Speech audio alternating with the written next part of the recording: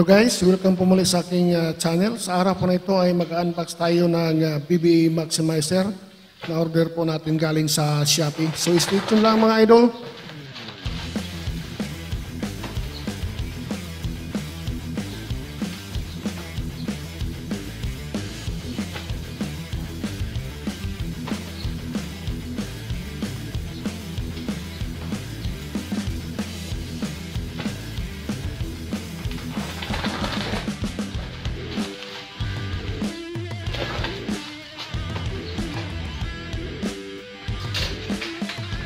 At uh, ito po ang kanyang pinaka-manual. So dito natin makikita kung paano natin gamitin ang uh, BBE Maximizer.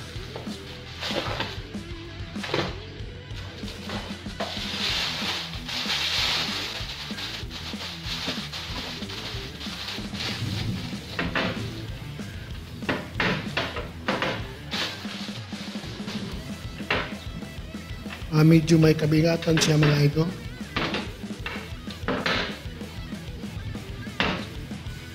Ang uh, pinakalikod ng uh, BBE Maximizer. Dito tayo sa channel B.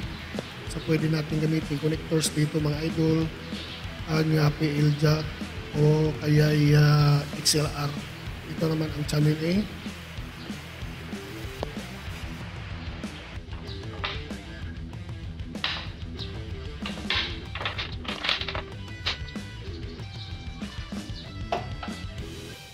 Gagamit tayo ng uh, male XLR para sa ating input sa ating uh, maximizer.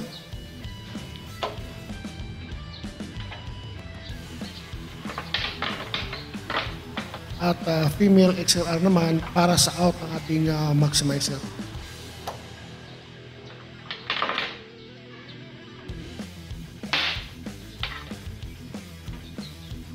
And then, ang gagawin natin sa channel B, gamit tayo ng uh, male XLR para sa ating input sa ating uh, channel B at uh, female XLR sa ating uh, sa output ng ating uh, channel.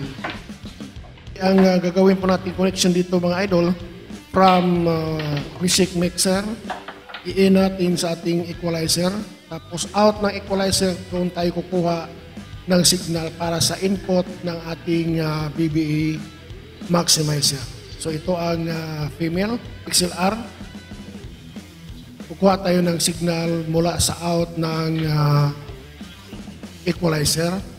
At ito naman ang uh, male XLR sa out ng ating maximizer. Doon natin i-plug in sa input sa ating uh, crossover. At titingnan muna natin mga idol kung mayroon bang power ang ating uh, maximizer.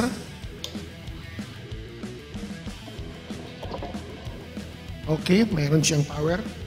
So ulitin ko mga idol, ang ating uh, gagawing connection mula sa out ng uh, music mixer, i-in natin sa ating equalizer.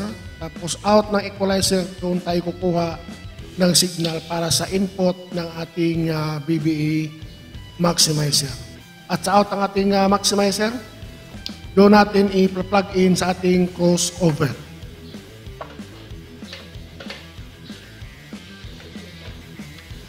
Okay, kuha na tayo ng signal sa out sa ating uh, equalizer. I-plug in natin sa input sa ating uh, maximize, maximizer sa channel A.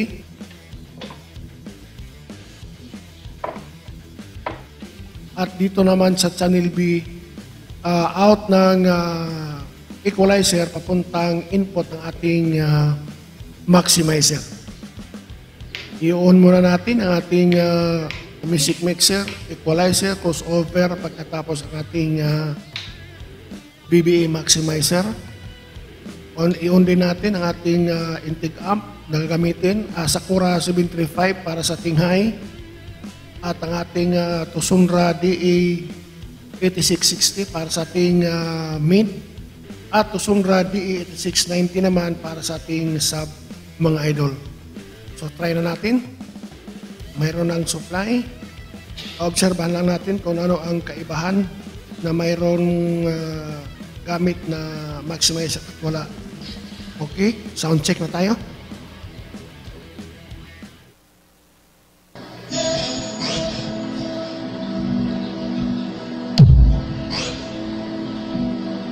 Super!